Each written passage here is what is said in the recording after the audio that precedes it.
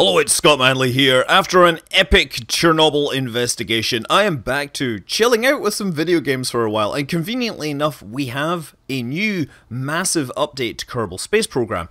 Actually, it's a paid DLC, but of course I got it for free because I bought the game very, very early. But yes, for your $15 or equivalent local currency, you get the Breaking Ground expansion, and it has like three major sides to it. So it's like two things which give you new stuff to do on surfaces. First of all, there are new surface features, and unlike the regular surface scatter, which we've all known and loved since the very earliest days, these are actually small discrete items on the surface which you can go up to and scan, such as this green sandstone. Now it takes a special part, these are robot arms that you attach to various size of rovers. There's three robot arms incidentally, one's named after Curiosity, the other is named after Spirit, and the other is named after Opportunity. The biggest one is Opportunity because the size is clearly based upon how long they were operating on Mars. So the, the whole point of these discrete surface features is to give you a reason to build rovers. So rovers of course have been in the game for a long time. They're cool, you can drive them around, but there wasn't actually much point in building a rover because you it would be much easier to fly from one biome to the other. Whereas in this case, it now actually means that you need to have precision. You need to get within an object within a couple of meters and then stay still to actually scan it. Each planet and moon has its own collection of thematically appropriate features on the surface. You can have small little rocks that you can indeed pick up if you like, or you can have things like this uh, cryovolcano this uh, spout of ice coming out of the surface of Vall, which looks very cool and makes you want to get out of your spacesuit and, you know, jump in and have a bath. Of course, this is, you know, frozen carbon dioxide, isn't it? And since we're on the subject of spacesuits, the expansion does give you another new suit for your uh, Kerbals. These look very much like the suit from The Martian, if you remember. It has this little camera hanging off the side. It's basically supposed to be a high-tech suit. If you remember, Making History came with like an old-school cosmonaut type suit. And another thing that was added with Breaking Ground is surface experiments, which I am foolishly deploying at this point using Jebediah Kerman.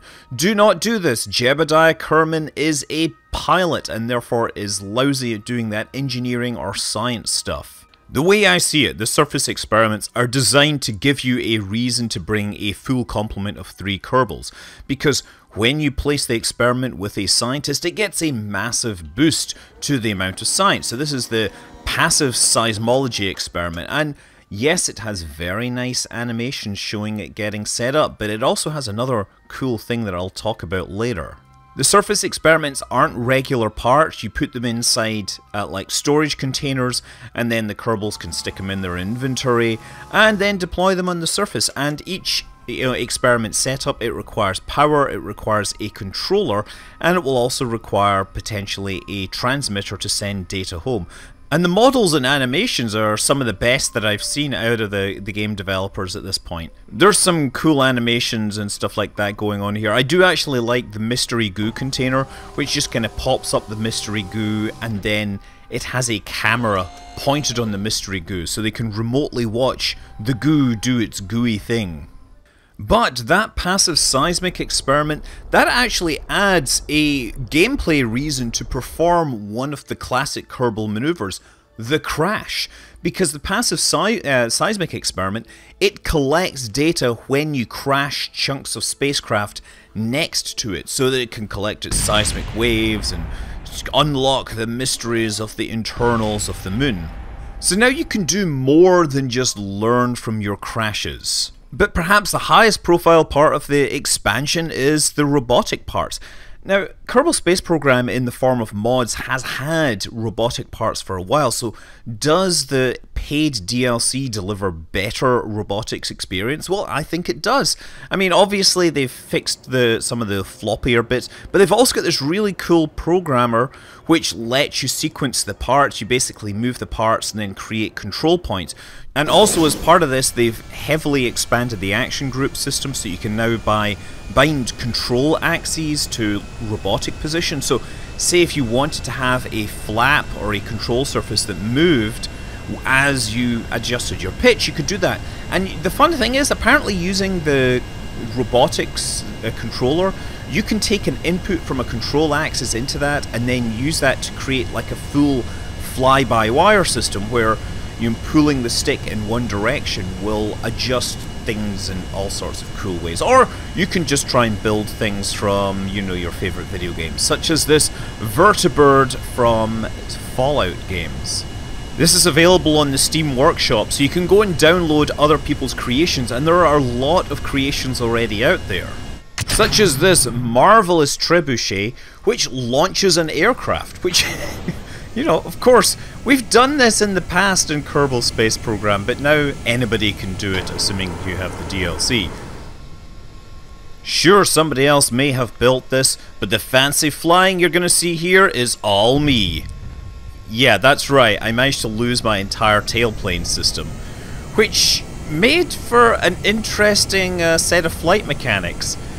Turns out that this thing was only stable when the engine thrust vectoring was running at full power, which made flying it rather difficult.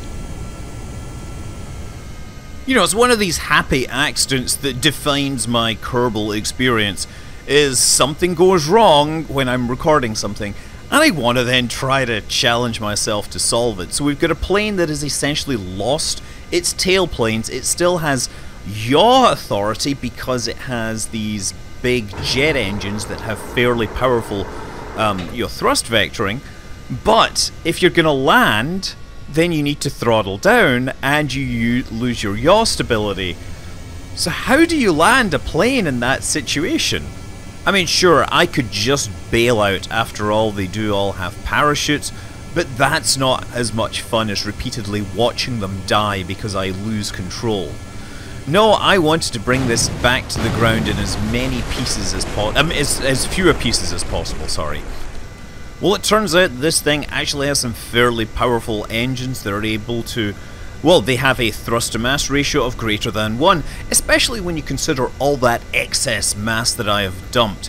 So the trick was then to put it into a like a vertical position where it's not moving very quickly then the aerodynamics no longer matter and it's just a careful case of very gently bringing this down to the surface by sitting it on a tail on its tail. Well wait, there's no tail left, but you know where the tail was. Sitting on the ghost of its tail, perhaps. And there we brought it back safely. Victory! And while a trebuchet is cool, this is a ballista launching a rocket, which is smaller than would normally be able to get to orbit, but with the extra boost that it provides getting it through the thick part of the atmosphere, this thing happily goes to space, well, after it destroys the launch pad. So while these new official robotics parts may indeed be less buggy and better supported than the unofficial mods uh, parts, I can assure you that the Kraken is still very much at home with these parts. So let's finish with something that I built all on my own. This is Virgin Galactic's Spaceship 2 and its carrier aircraft White Knight 2. This is my well, this is my interpretation of it. It uses the Mark II fuselage because we have to have the same size cockpit for both White Knight and for Spaceship 2. White Knight carries Spaceship 2 up to about 12,000 meters, then Spaceship 2 drops away, lights its rocket engine and begins climbing for space. The real Spaceship 2 and White Knight are built by Virgin Galactic and the Spaceship Company, which is sort of a spin off of Scaled Composite, so they use the same composite materials. The rocket motor is a hybrid rocket motor, but the coolest feature of Spaceship 2 that we can now do in Kerbal Space Program is the feathering system, or the wing feathering system, that basically what it does is it takes the tail booms and it lifts them up like that so that the spacecraft becomes passively stable in that uh, orientation. So of course they're now in a vertical climb, they've got several minutes of weightlessness, The tourists in the back are no doubt enjoying their moments of weightlessness. Perhaps some might be trying to see stars in the sky, which of course you won't be able to see because these launches will happen during daylight. But if you look straight down, you will see the airfield that you came from. But now on the way back down, the feathering system becomes very important because it stops the aircraft going into a nosedive and just picking up speed all the way down.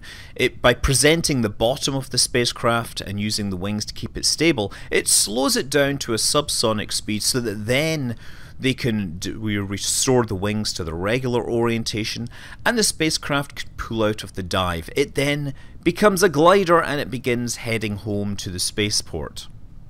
Now this is obviously sped up by a factor of four so you can appreciate the approach. Uh, you know, this is obviously all done completely dead stick, even although there's no stick on these things. It's yeah, never mind. Um, so yeah, the design for this, it just puts a single hinge inside the body to drive both of the wing, you know, the wing booms.